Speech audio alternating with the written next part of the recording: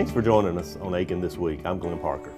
I'm excited to have Lisa Hall joining us today. Lisa is the museum coordinator at the Thoroughbred Racing Hall of Fame, which is located in Hopelands Gardens. Both of us have been with the city longer than we want to admit, I think. Forever. Uh, forever. I think, Lisa, you've had a number of different roles.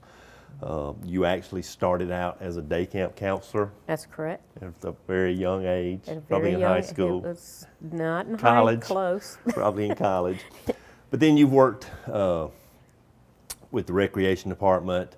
You started out running programs at Odell Weeks, and then part of your responsibility became Hopelands and the concert and Rye Patch, and then eventually a decision was made to move your office to Rye Patch, and your responsibility just became Hopelands and Rye Patch. That's correct. Why are you so passionate about Hopelands and Rye Patch? Well, I grew up here in Aiken. Um, and when you grow up in Aiken, you learn to love the history of Aiken. Um, it's a wonderful story. And um, I've always been passionate about history. I love history. I can remember when Hopelands was first given to the city and going out in Hopelands um, as a young woman and, and taking my nephews out there to play and feed the ducks. And then I also had a, a personal relationship with Joan Tower, who um, kind of ran Hopelands and the Hall of Fame and the Rye Patch. And I remember the stories and things that she used to tell me. And I saw her passion for it. And so when she passed, I just kind of wanted to take that banner up. And so when I was offered the position, I was very, uh, really challenged by it and really wanted to give it a shot. Okay. Now we're going to talk primarily today about the Hall of Fame. In a, in a few weeks, David Tavener, who's the Friends, who's the president of the Friends of the Hopelands and Rye Patch, he's going to come on. He's going to talk to us a little bit about the Friends. He'll also talk to us about the renovations that are going on at the stable. So we won't get into too much of that today. But when did the city take ownership of, of Hopelands? Well, we actually got it in uh, 1970. Uh, Miss Iselin passed away, um, of course, at age 102. Wow. And she left it uh, in her will. Um, and so it had to go through a vote for city council for them to accept it. So we did get the property in, in 1970. And I think Patch was similar a little bit later on. I think Rye Patch was in 83 or 84. 1981, Okay, 81. Okay. And similarly, it was left to the city. correct, Okay. correct. I remember, I I wasn't here at the time, but I remember hearing that Hopelands was controversial about why the city accepted it. Why was that? I think the, the people who lived in the neighborhood at the time, they had, uh, had some concerns about, you know, would it increase the traffic in their neighborhood and, and noise level? But the city was able to really work with them uh, and, and get, I guess, all their concerns uh, taken care of. And uh, I, I'm grateful that they did do that, and I'm grateful the neighbors were willing to kind of sit and listen to the city and, and talk and work together to make it possible. I don't think anybody in Aiken today could imagine Aiken without Hopelands. so thank, thank goodness that that, uh, that happened and was able to be worked out. What was on the property of Hopelands at the time? I know it's pretty close today, but it has changed. It is. We had um, the caretaker's cottage was there, the dollhouse was there, the carriage house where the Hall of Fame is was there, and the house was there. Um, unfortunately, the house had to be demolished. It uh, just wasn't in really, really good shape. And unfortunately, back in the, the 80s, I think uh, it was when he had historic property, sometimes demolishing was the cheaper route to go. But the city um, had to do what they felt was safe. Sure. And it's, it's neat that the fountains are in the basement of the house, so you can stand up on the steps. And if you look, you can really tell where the wings of the house were and where the main part of the house was. Yeah, that's what I was going to say. I bet a lot of people who get married there today don't realize they're getting married on the footprint of what was the home at the time. Absolutely, yeah. it's neat. That is neat. The original use of the Hall of Fame. What what was it before the city started renovating it and making it into a Hall of Fame? Well, the, it was Miss Iselin's carriage house, and it stored her carriages that she would take out in Hitchcock Woods or out in the horse district. Um, also, her horses, her pleasure horses, and there was a hayloft upstairs, and there were bedrooms for her staff upstairs as well. Okay. Tell us tell us the history of the Hall of Fame. How did it come about? Why did the city what when was the decision made to establish this Hall of Fame for Aiken? Well, I know the Aiken JCs uh, back in 74, 75 was looking for a project, and they had decided to, to renovate the carriage house. And I know that money was an issue back then. They didn't really have the money to really do everything they wanted to do. Well, then Joan and Whitney Tower moved to Aiken, and um, Mr. Tower was a former president of the New York Racing Association. He also was the editor for horse racing in Sports Illustrated magazine and a noted author. And Miss Tower was um, very much involved in the community, but she also really, really loved horses as well. So when she came into town and they saw that stable and that carriage house, they were thinking, wow, look at all the national champion race horses that have been trained here, and there's nothing to recognize them.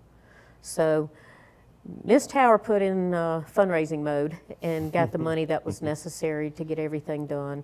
Uh, Whitney did the research on the horses that should be inducted initially, and it opened in January 1977.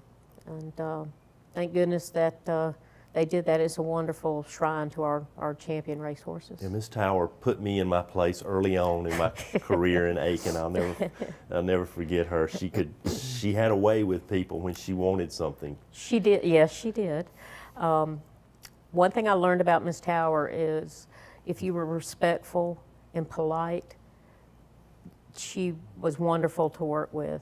If she really felt strongly about something and you didn't agree with her, uh, she would try to bring you to her side, and, and her passion for it showed.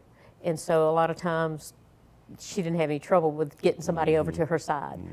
But I'm glad that she was that kind of person because we wouldn't have Hopelands and Rye Patch, the development and the, the care of it today, if she had not done the work ahead of time. Yeah, she also didn't mind coming before city council and letting true. them know they needed to take care of Hopelands and Rye Patch back when it wasn't what it is today. Right. Absolutely. She, Some of the logistical stuff. What are the hours? What are the days? Those kind of things.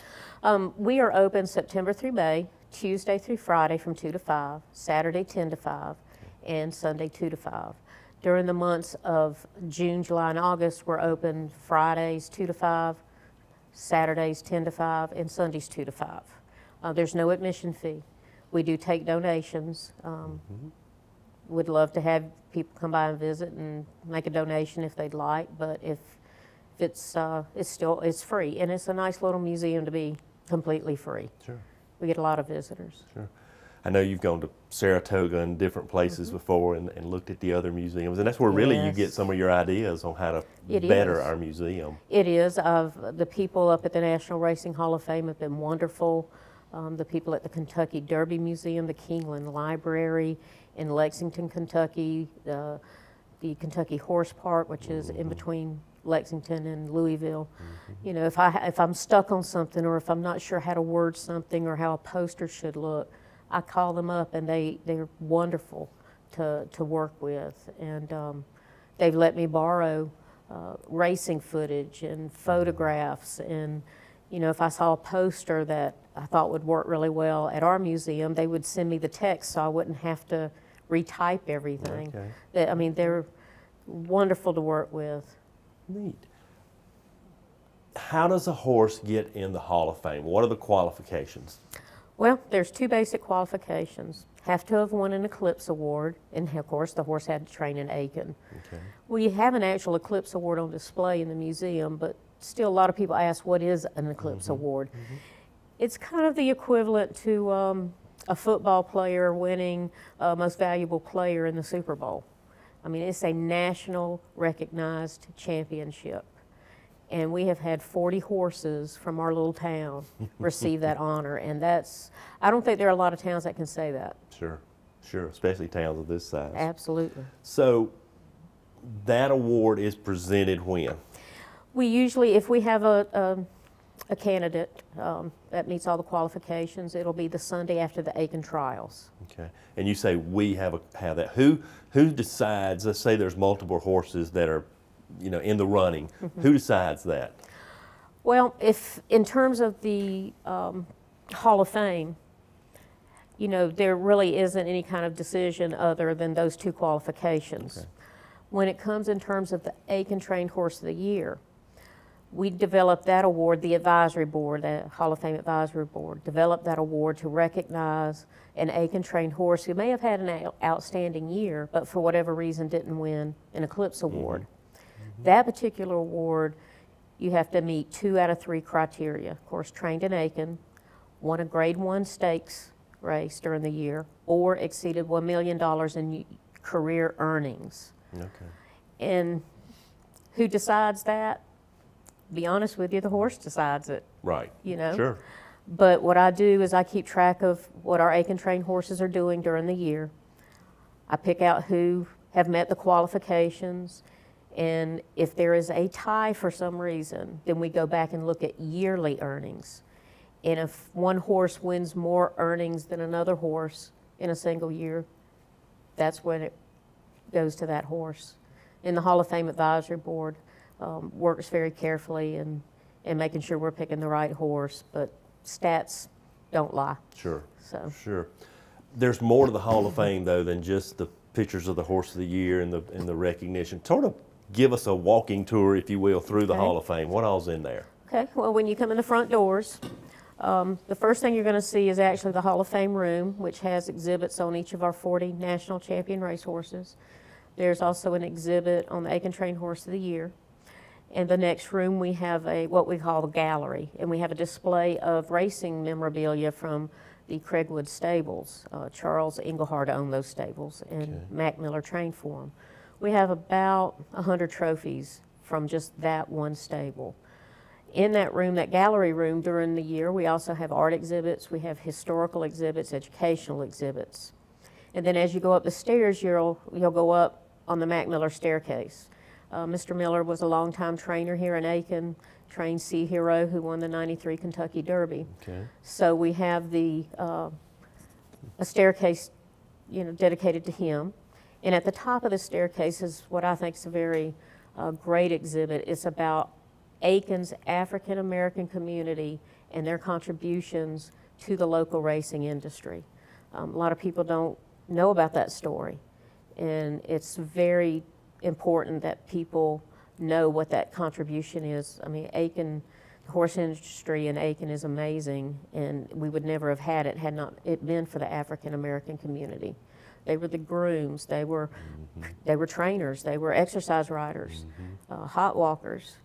There's also, uh, at the end of that hallway, uh, an exhibit on equine dentistry where we have some antique uh, equine dentistry tools and some horse skulls.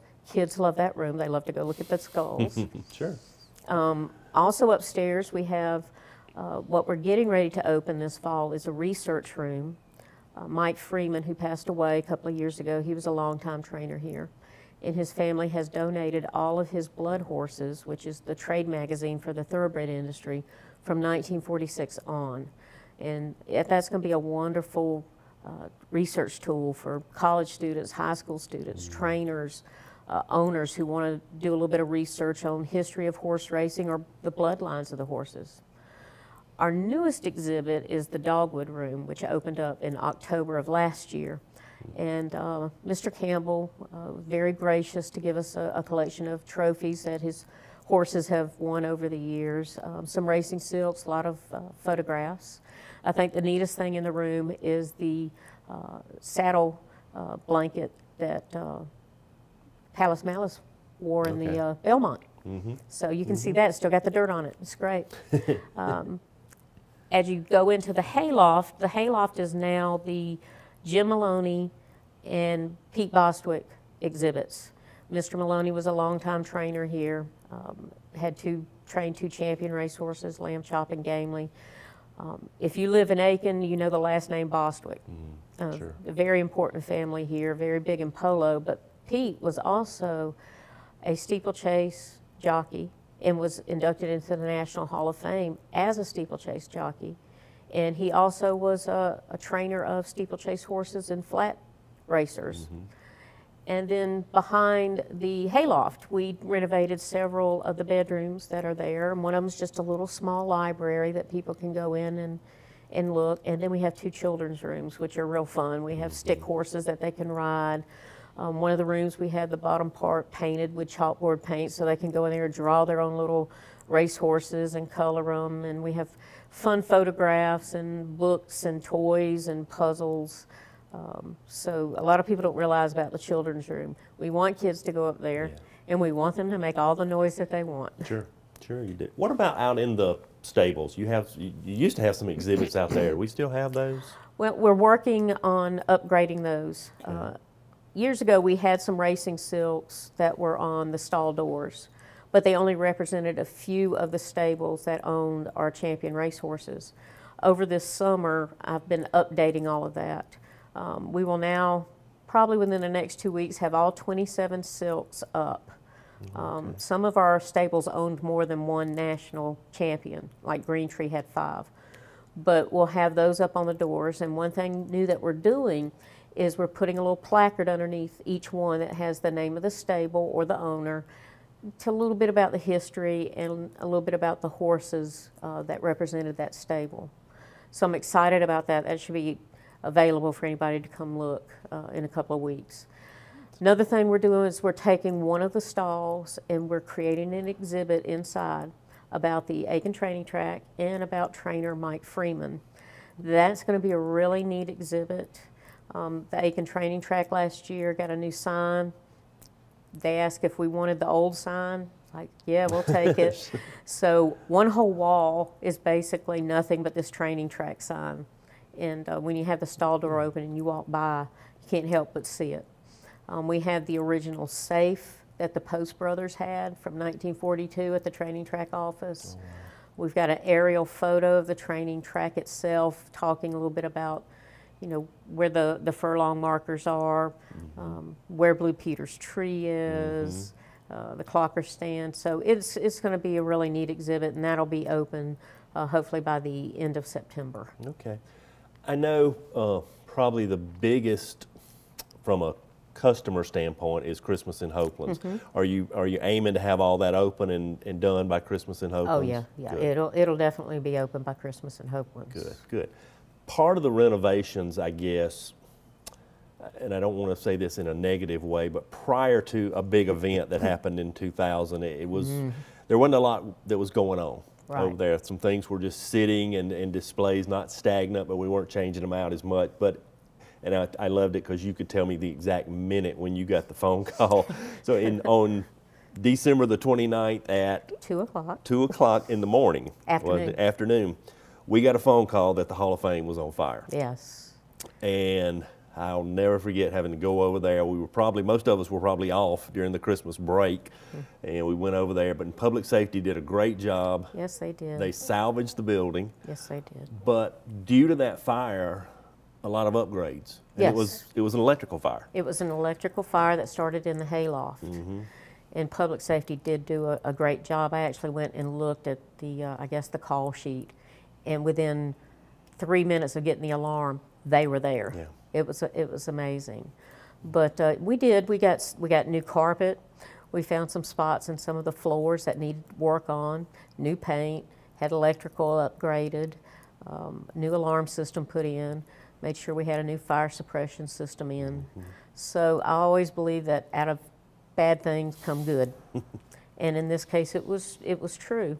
Um, the Hall of Fame was closed for about three or four months because we had to take all our photographs and take them to a room at the Week Center and just lay them on tables and leave them alone and let them just that. dry out.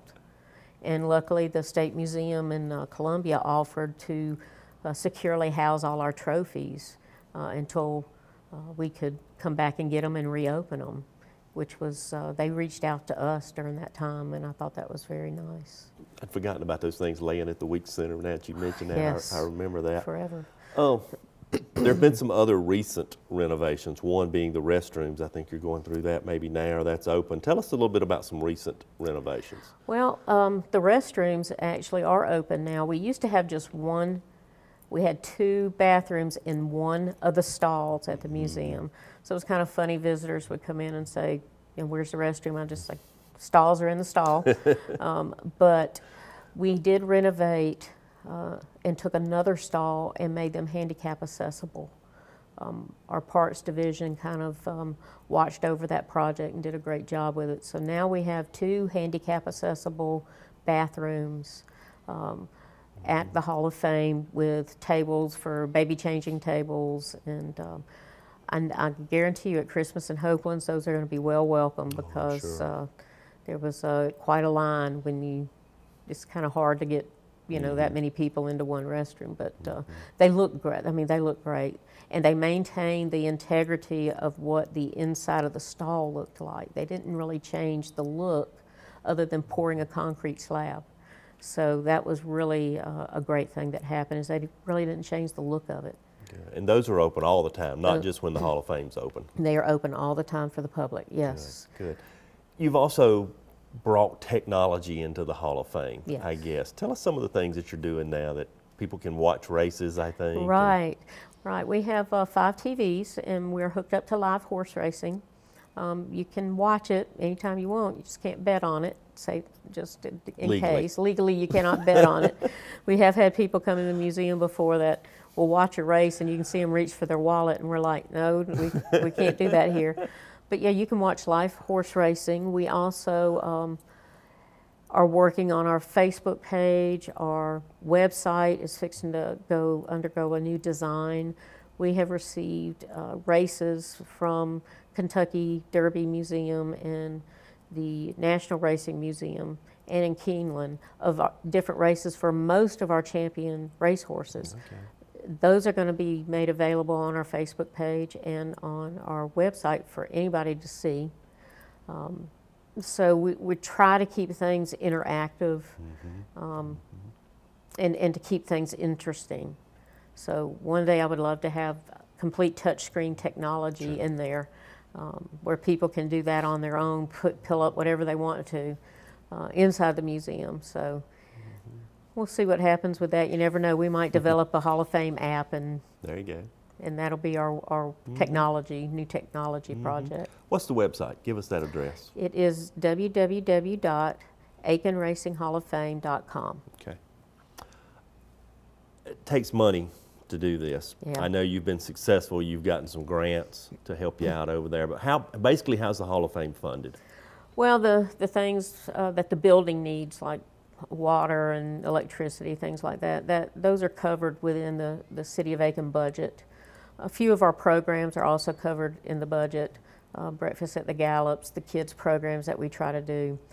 Um, but still, we get sponsorships. Mostly uh, our projects and our exhibits of trying to keep our exhibits up and new and, and fresh and any repairs that might need to be made. I have to go out and raise donations and sponsorships for that, and we've been very successful with it. Um, had a lot of, of uh, great people here in Aiken, stables and organizations, individuals give us money to help uh, keep things fresh over there. They support the Hall of Fame and know how important it is.